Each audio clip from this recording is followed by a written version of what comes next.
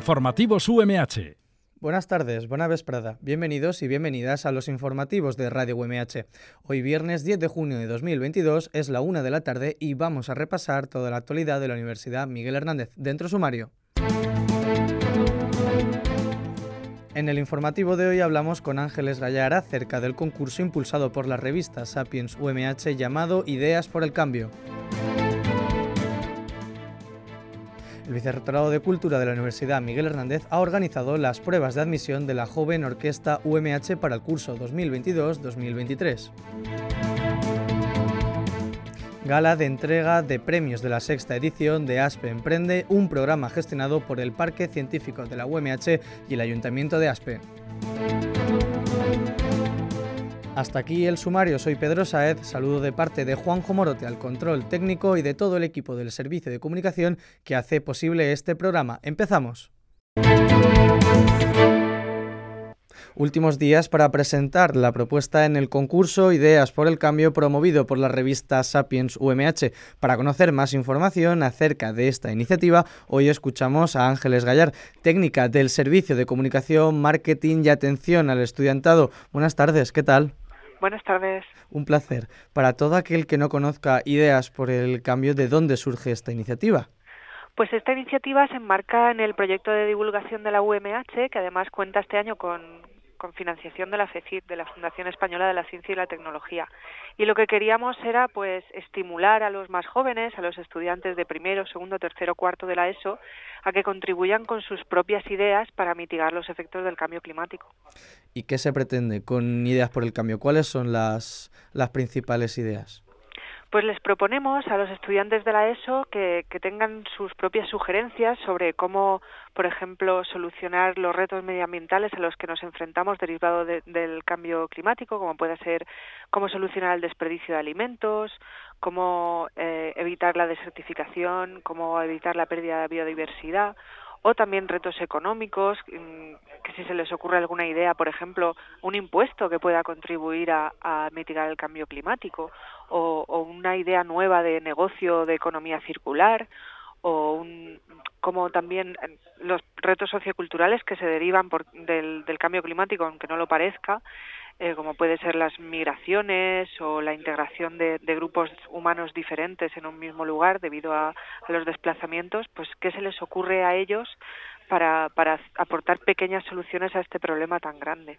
Además, tienen libertad para, para poder presentar la propuesta de diferentes maneras. ¿Cómo, cómo podría el, el estudiante enviar su, su propuesta? Efectivamente, queremos darle la máxima libertad. Entonces, les proponemos que nos envíen bien un blog o una infografía así más visual o un mapa conceptual muy, muy concreto o también que pueden escribir un ensayo eh, clásico como una redacción de clase o un podcast también con entrevistas y música y demás. ¿Y cuál sería el premio para los ganadores? Pues tenemos cuatro premios, cada uno para las distintas categorías de reto medioambiental, económico, sociocultural e informativo y consiste en una actividad científica. Es sorpresa. para acabar, ¿hasta cuándo pueden enviar su propuesta y sobre todo eh, a través de dónde?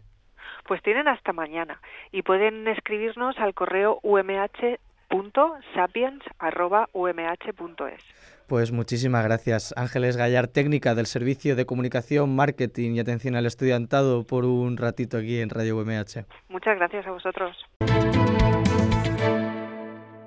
La UMH organiza las pruebas de admisión de la joven orquesta UMH para el curso 2022-2023. Amplía la noticia Jonathan Jiménez. El Vicerrectorado de Cultura de la Universidad Miguel Hernández ha organizado las pruebas de admisión de la joven orquesta UMH para el curso 2022-2023.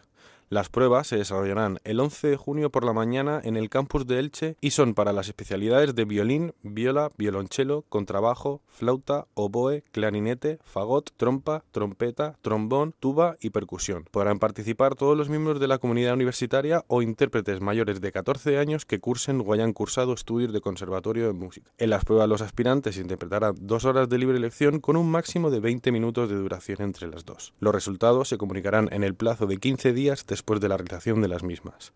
Es una actividad gratuita organizada por el Vicerrectorado de Cultura y puede participar cualquier persona interesada con los conocimientos musicales necesarios. ASPE Emprende, a través del Parque Científico de la UMH, realiza la gala de entrega de premios en su sexta edición. Da más detalles Juanjo Morote. En lo referente a la categoría Emprendedores, han sido premiadas las iniciativas Academia 750, promovida por Miriam Díez y Emanuel Mingot, con 1.200 euros. El proyecto Caprichos de Hermanas, impulsado por Sara Blanca y Rebeca Soria, con 800 euros la propuesta La sastrería musical de Jesús Puche y Ovidio López con 400 euros. Por su parte, en la categoría Empresas han sido reconocidas las compañías Elena Caede, impulsada por Elena Cañizares, como mejor empresa innovadora, y Recambios Harry Go de Ruth Martínez y Leandro Fornet como mejor empresa en crecimiento. En la jornada celebrada en el Auditorio Alfredo Kraus de ASPE han estado presentes el rector de la UMH, Juan José Ruiz, el director del área de emprendimiento del Parque Científico de la Universidad Miguel Hernández, Javier Sancho, y otras personalidades de la ciudad. La sexta convocatoria de ASPE Emprende ha contado con un total de 47 emprendedores con 31 iniciativas de negocio, de estas, 23 eran nuevas propuestas empresariales, mientras que 8 eran compañías ya existentes. Desde su puesta en marcha, Aspe Emprende ha asesorado a más de 400 personas, de las que 235 buscaban poner en marcha iniciativas de negocio en el municipio y el resto eran compañías ya consolidadas en la localidad.